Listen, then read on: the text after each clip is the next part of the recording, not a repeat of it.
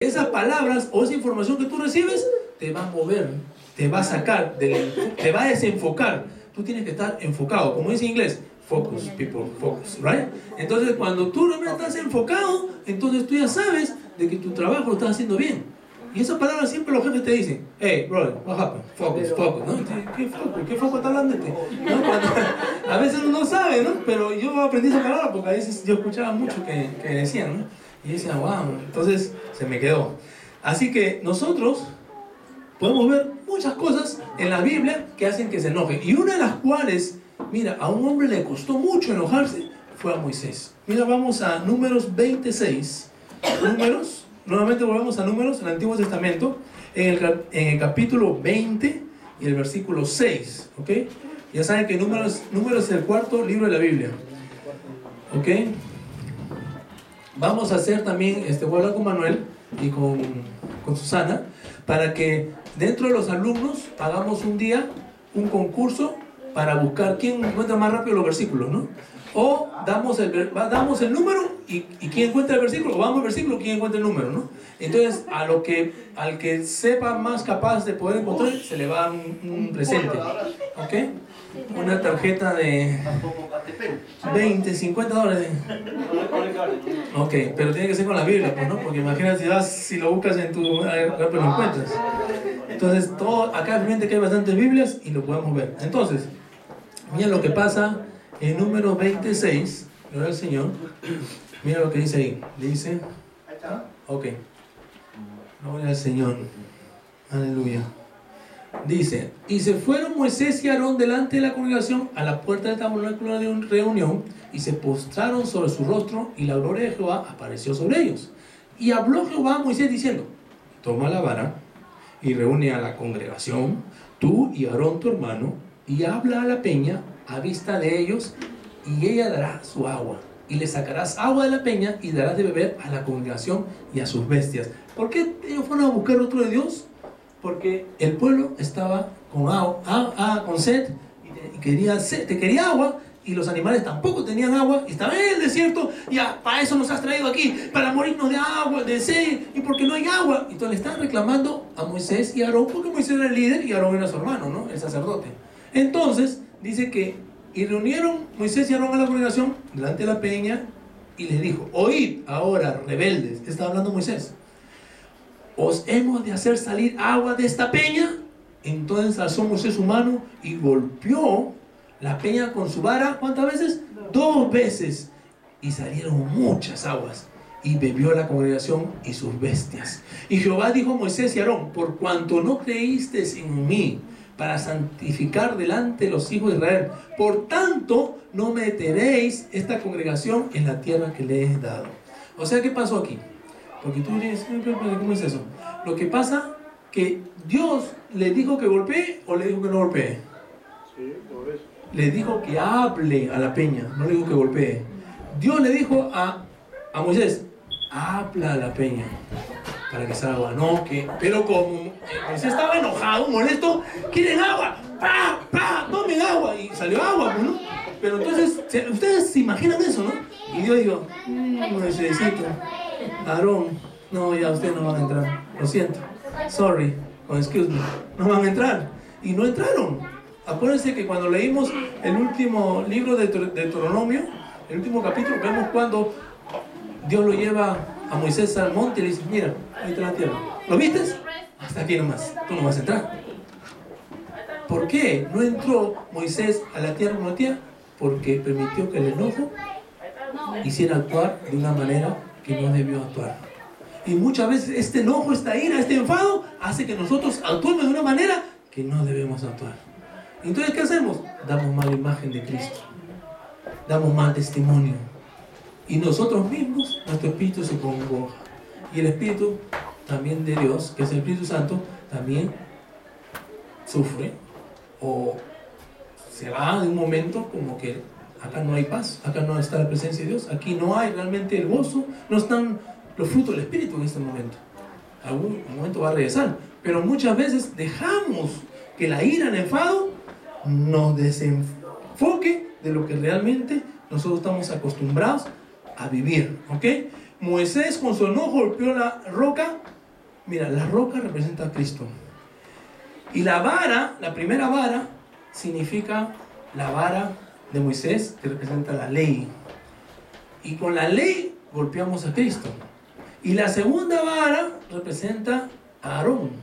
Aarón sabe que era el sacerdote. Y la segunda vara significa la intercesión. Hay dos formas de poder obedecer a Dios. Una de ellas es a través de la palabra y otra es a través de la intercesión, orando en todo tiempo. Pero Moisés actuó mal, enojado, con ira, golpeó la piedra, una vez, no, dos veces. Tú sabes cuando uno no quiere algo, no te sale bien y tú golpeas la...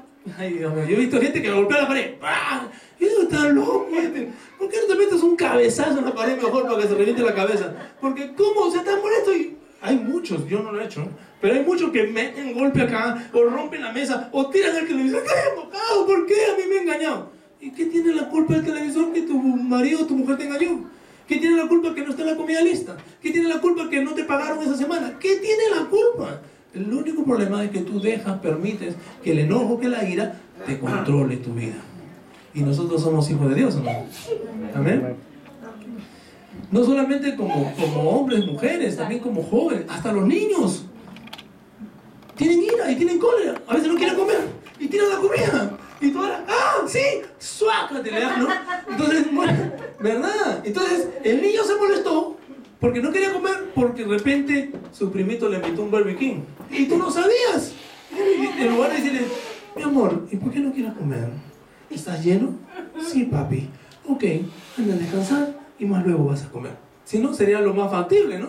Pero muchas veces nosotros actuamos. Este me tiró la comida. Y le dan golpe al niño, ¿no? O le agarran de los pelos. O le sacan la oreja. Y después dicen, ¿por qué mi hijo salió orejón? Porque le jalaste. Mi papá me jalaba mucho la oreja, ¿saben? Entonces, muchas veces pasa eso, hermanos. Entonces, hay que tenerse, hay que tener discernimiento y poder. Dios nos dado un espíritu de dominio y control propio. O sea que nosotros decimos, Señor, espérate, espérate. pero no voy a controlarme. Cálmate, cálmate, cálmate. ¿No? Y, y tú pides calma, paz, ¿entiendes? Mira algo importante que Jesús dijo. Vamos a ir a Juan. ¿Cuánto le gusta el libro de Juan? El libro del amado, del amor. Juan 14, 27. ¿Ok? ¿Qué cosa dice Juan 14, 27? Vamos a leer ahí. ¿Cuántos están gozando? ¿Cuántos están recibiendo de parte de Dios en esta mañana? Juan 14, 27. Dice así. Gloria al Señor. La paz os dejo. Mi paz os doy. Yo no os la doy como el mundo le da. No se turba vuestro corazón ni tenga miedo. Imagínate, Dios nos dio una paz que no la da el mundo. O sea, de tengo tantos problemas. Y viene alguien y dice, Tome, hermana, mil dólares. ¡Ay, ay, ay, ay, ay, ay, ay, ay! Ahora tengo gozo, alegría y paz. Y me voy a la iglesia a alabar a Dios. Y voy a dar el diezmo y todo. Ok, tú estás contenta y todo. Pero eso es momentáneo. Es un gozo pasajero. ¿Entienden? Ustedes ven, ¿Qué le pasó a esta artista que Jenny no sé qué, que la mataron, ¿no? O se mató, no sé cómo salió al último. Entonces, ¿qué le valió? O sea, era una mujer, su hermano el pastor, creo.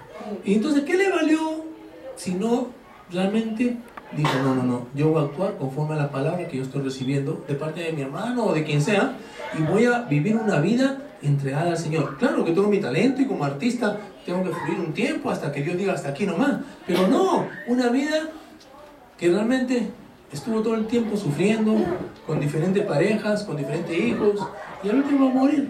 ¿De qué le sirvió tener dinero, de tener una casa nueva, de tener un carro deportivo? ¿De qué le sirvió? De nada. Por eso, mejor es esperar en el tiempo de Dios que tú seas bendecida, siendo tú obediente y siendo perseverante en las cosas de Dios y diciendo, Señor, yo sé que voy a salir adelante yo confío en ti, voy a creerte a ti, a pesar de todas las cosas que están pasando, a pesar de todos los problemas que están sucediendo, no me importa. Lo único que sé es que yo estoy confiando en ti, Señor.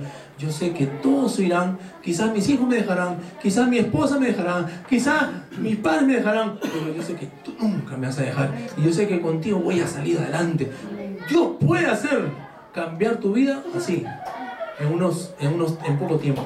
¿Por qué? Porque para Dios no le cuesta nada eso. No le cuesta nada, hermano. Dios puede mover cualquier cosa a nuestro favor. Cualquier cosa, ¿ok? No solamente cosas materiales, sino cualquier cosa Dios puede mover a nuestro favor. Entonces ahora viene la pregunta del año. ¿Cuántos de nosotros nos separamos constantemente? ¿No? A veces nos separamos una vez al día, a veces tres veces al día, a veces cinco, otros diez, no sé. Pero así sea diez, cinco, una, nosotros dice Señor, Señor, Señor, tú me has hablado esta mañana o esta tarde y yo quiero, Señor, cambiar mi vida, quiero ser diferente, no quiero que la gente se dé cuenta. Pues estoy enojado, pero que el sol, cuando salga, no se dé cuenta de mi enojo, sino que yo estoy ya en paz, porque he aprendido que en paz descansaré, en paz yo voy a poder, Señor, disfrutar de ti. Mira, muchas veces, te voy a dar unos cuantos ejemplos, muchas veces dice que nos molestamos cuando salimos tarde y de repente toca una luz roja. ¡Ay, Dios mío! Y va la luz. ¡Ay, está la está luz roja! ¡Está la roja! Y ya no quieres la roja verla para nada. Y te tocó roja, roja roja. Y todavía, ¡ay! aceleras. Y un policía te pone un ticket con mucha exceso de velocidad y se paró la luz roja. Imagínate, ¿dónde está esa.? Ya, si era un rojo chiquito, ya estás volando, ya. Y si alguien te quiere hablar ni, me contestas el teléfono porque estás molesta. Y eso muchas veces nos ha pasado a nosotros. La luz roja, ¿no? Es algo que a veces a nosotros nos pasa. ¿Por qué? Porque no preveímos el tiempo para salir más temprano. Dice, cuando no nos hacen caso de algo, A veces estamos hablando, hablando, hablando y no nos hacen caso. ¡Te he dicho! Y agarramos y tocamos como la trompeta, ¿no? ¿Por qué no me haces caso? Te he dicho 20 veces lo mismo. No, deje la basura en la puerta. No, bote las medias ahí en el piso. Lávate las... Ay, no, entonces tú estás siempre molestándote de cualquier cosa, hermano. Entonces nosotros tenemos que decir, ok, dame paz, Señor. Dame paz, dame paz. Cuando no te saludan. ¿Cuándo saben que hay gente que no le gusta saludar? Y a veces uno, ¿cómo está, hermano? Y, te, te, dan como que en, el aire con tu saludo. Y tú, ah, no, ya ves, tío, ¿qué cree? ¿Qué se cree? Ay, a ver. Y después otro día, ¡Hola, Lucho! no, ni le saludas. Entonces tú ya te enojaste, te molestaste y no sabes si ese hombre o esa mujer de repente tenía un problema, de repente no tiene para comer, de repente en la mañana se levantó y su cocina se había malogrado, su carro no funcionó, o se quedó sin gasolina, tú no sabes. Pero tú como, mi salud, ¿qué se creerá? y te molestaste con esa persona, ¿no? Dice cuando, dice cuando mucha, ay, esto sí a veces, los, que los hombres sobre todo, cuando suben a tu carro y lo ensucian. ¿Por qué si lo acabo de lavar? Ay, chiquito, me ensuciamos el carro, ¿no? Y nos amargamos y muchas veces abrimos nuestra boquita. Pa, pa, pa, cha, cha, pa, pa, ta. Hablamos de lenguas, ¿no? ¿Y por qué? Dejamos que eso nos... Cuando más va bueno lo limpiaré, ya, la, la, la, la, la, la, ya está, aleluya, gloria a Dios. Y no permites que ese enojo entre en tu corazón, ¿sí o no? Porque son cosas pequeñas, estamos hablando de cosas pequeñas, ¿eh? Uy, hay muchas cosas. Dice que tenemos que tener mucha paz y tenemos que tenemos que hacer lo correcto delante de Dios. Tenemos que forzarnos y tenemos que fortalecernos. Mire, algo importante que nosotros, para que no caigamos en este juego, tenemos que estar fortalecidos. Mira lo que dice Efesios 3 y 6. Volvemos a Efesios. Ya Efesios está siendo conocido. Entonces, Efesios 3, 16. Mira lo que dice. Para que os dé conforme a la riqueza de su gloria, el ser fortalecidos con poder en el hombre interior por su espíritu para que habite Cristo por la fe en vuestros corazones, a fin de que, arraigados y cimentados en amor, sepáis plenamente capaces, seáis plenamente capaces de comprender con todos los santos cuál sea la anchura, la longitud, la profundidad y la altura, y de conocer el amor de Cristo que cede a todo conocimiento para que sean llenos de toda la plenitud de Dios. Imagínense, ¿saben lo que está diciendo ahí? Que solamente no mires al frente, está hablando de la anchura, de lo largo, de lo profundo y de lo alto. Estamos hablando de todo alrededor tuyo que tú no debes permitir que esta ira, que este enojo o que esta cólera haga de que tu vida sea diferente. ¿Cuánto van a cambiar? Tenemos que tratar de cambiar, hermanos. Si nosotros no ponemos nuestra parte, va a ser bien difícil. No permitas que tus sentimientos te controlen. ¿Cuántos dejan muchas veces controlar? ¿Cuántos lo dejamos muchas veces por nuestros sentimientos? ¿Sabes lo que es el sentimiento, no? Son, tenemos cinco sentidos, ¿sí o no? La vista, el tacto, ¿qué más? El olfato. El olfato.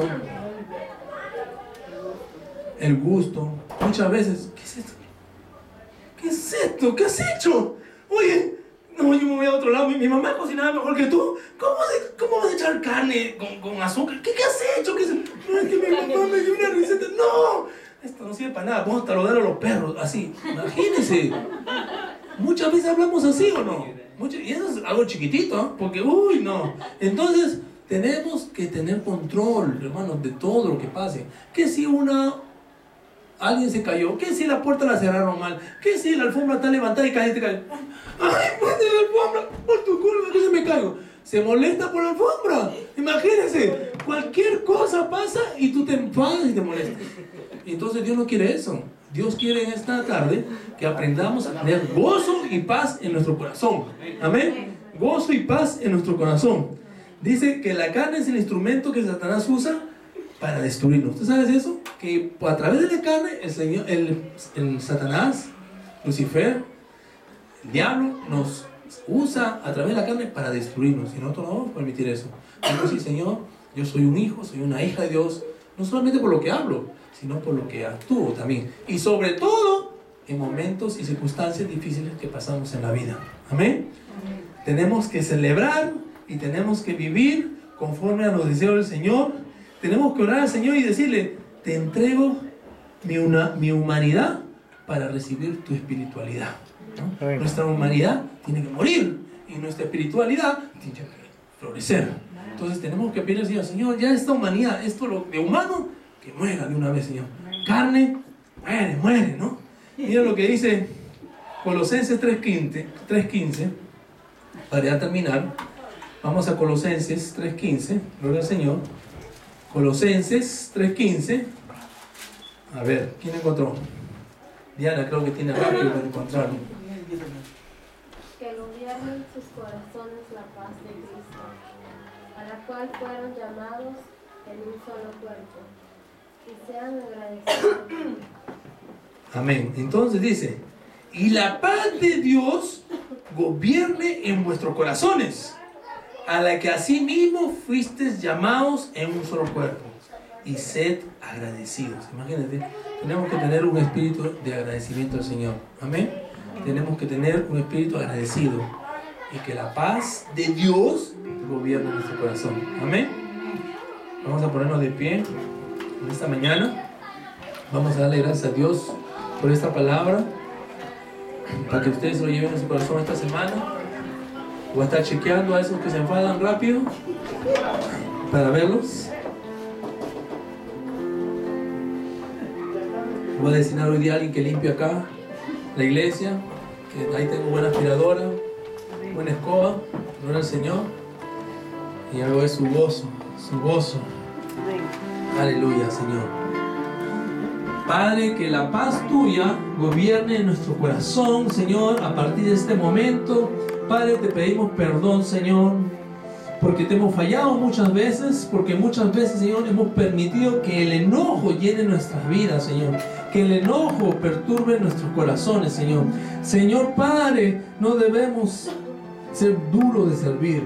No debemos, Señor, enojarnos, amargarnos, molestarnos, airarnos. Señor, muchas veces van a haber circunstancias donde quizás nosotros vamos a estar en esta situación. Quizás después que podamos orar, saliendo vas a encontrar tu carro con las cuatro llantas desinfladas. ¿Y qué vas a hacer? ¿Qué vas a decir? Ay, ay, ay, ay, Señor. Solamente quiero darte gracias porque no se llevaron el carro y aunque la reventaron las llantas, todavía tengo un carro para poder andar en este invierno que viene y que se aproxima. Si nosotros sabemos ver